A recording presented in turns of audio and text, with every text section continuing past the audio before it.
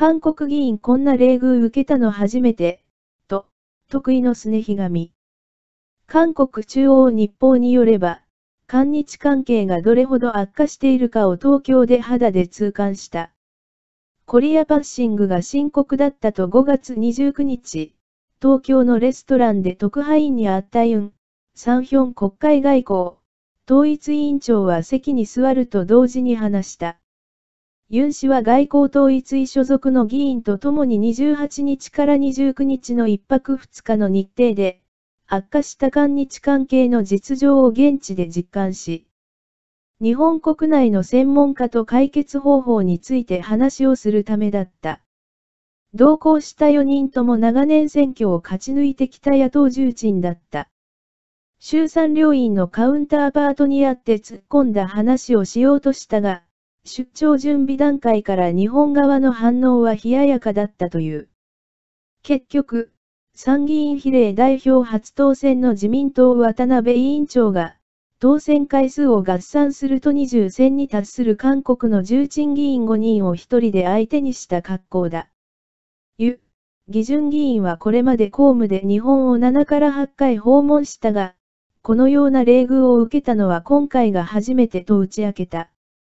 訪問団とあった渡辺委員長は徴用裁判に関連し、日本政府が要請した仲裁委員会の設置に韓国は応じるべきで、もし応じない場合には6月末の大阪主要20カ国、地域、G20、首脳会議での日韓首脳会談開催は難しいという日本の立場を再度強調したと、ユン委員長は伝えた。ユン委員長一行は複数の日本メディアの痴漢派専門家にもあって助言を聞いた。日本側の専門家は極端な対立を避けて時間を稼ぐためには徴用問題を ICJ、国際司法裁判所に任せた方がいい。ICJ を恐れるな。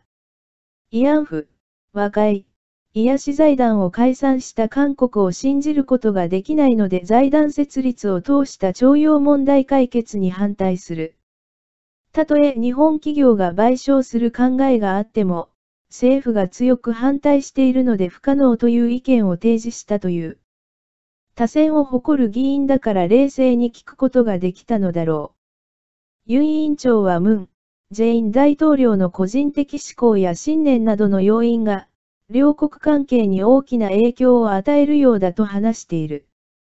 日本の国会議員中心に日韓外交フォーラムの発足を準備する動きがあると、日本の外交消息筋が示唆したと書き点得ている。この示唆が生きるか否かは、韓国議員の理性にかかっているのだ。冷遇されたと嘆く野党議員訪問団にとってこれが唯一の手土産なのだろう。